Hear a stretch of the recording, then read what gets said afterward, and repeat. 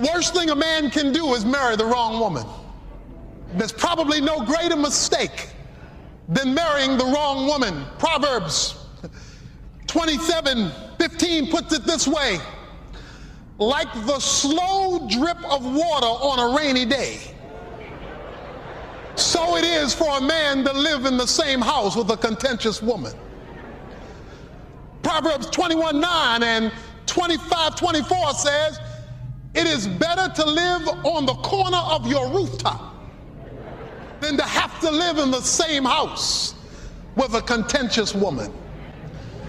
Nothing can be more miserable than having to spend every day of your life with an evil woman.